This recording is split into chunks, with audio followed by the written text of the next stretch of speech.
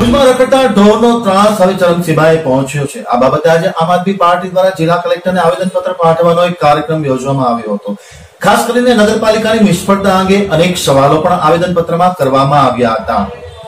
ભુજ શહેરમાં છેલ્લા કેટલાક સમયથી રખડતા ઢોરનો ત્રાસ ચરમસીમાએ પહોંચી ગયો છે. અનેક વખત ઢોર ઢાંખર રસ્તાઓ પર રખડતા હોવાના કારણે ખાસ કરીને વૃદ્ધ લોકોને ઢીકે ચડાવીને તેમને ગંભીર ઈજા પહોંચાડતા હોવાના દાખલાઓ પણ નોંધાયા છે. ચોમાસું શરૂ થતાની સાથે જ રખડતા ઢોર ઢાંખર રસ્તાઓ પર કબજો જમાવીને બેસી જતા હોય છે. ખાસ કરીને સમગ્ર ઘટના હવે તાત્કાલિક અસરથી પગલાં લેવા માટે નિશ્ચિત બની ગઈ હોવાનું જાણવા મળ્યું છે. દરમિયાનમાં આજે આમ આદમી પાર્ટીના પદાધિકારી, કાર્યકારી પ્રમુખ ગિરિરાજસિંહ જાડેજા અને કચ્છ પશ્ચિમ કચ્છ જિલ્લાના પ્રભારી યોગેશ પોકારની આગેવાની હેઠળ એક આવેદનપત્ર પાઠવવાનો કાર્યક્રમ યોજવામાં આવ્યો હતો.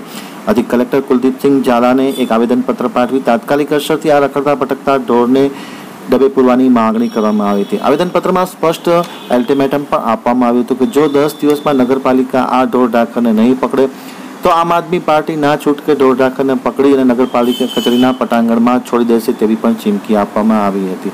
આ પ્રશ્ન ખૂબ જ પેચીદો બન્યો છે. મુશ્કેલી છે. શું કહેશો? સાહેબ છેલ્લા પાંચ વર્ષથી જોતા આવીએ છીએ કે રખડતા ઢોર એમાં ખાસ કરીને ગૌ માતા. કે ગૌ માતાના નામે હિન્દુત્વના નામે જે ભાજપ સરકારે પબ્લિક પાસેથી મત લીધા છે મત લઈને ગાયોને પણ ભૂલી ગયા છે અને પ્રજાને પણ ભૂલી ગયા છે. આજે અમે ગૌ માતા માટે એટલે આવ્યા છીએ કે તમે ગમે ત્યાં ભુજનો એક એવો રોડ બતાવો કે જ્યાં રખડતા ઢોરનો ત્રાસ ન હોય. એમાં આખલા પણ છે, કૂતરા પણ છે. એના હિસાબે તેને અકસ્માતથી અકસ્માતો થાય છે. માણસો મૃત્યુને પણ ભેટે છે.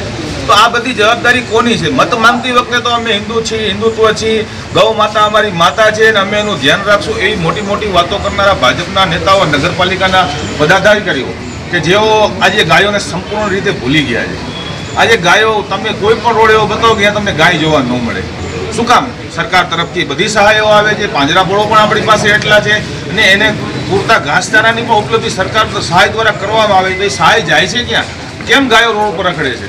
ગાયોને પકડવાની જવાબદારી કોની? તમને આશ્વાસન આશ્વાસનમાં સાહેબ અમે છેલ્લે પંદર દિવસનો વોર્નિંગ ટાઈમ આપ્યો છે કલેક્ટરશ્રીને કે પંદર દિવસની અંદર ભુજની આ સમસ્યા દૂર કરવામાં આવે રખડતા ઢોરો હોય એને પાંજરાપુરમાં રાખવામાં આવે એમનું પૂરતી માવજત કરવામાં આવે જેથી કરીને એમને પ્લાસ્ટિકનો કચરો ગટર ખાવી ન પડે.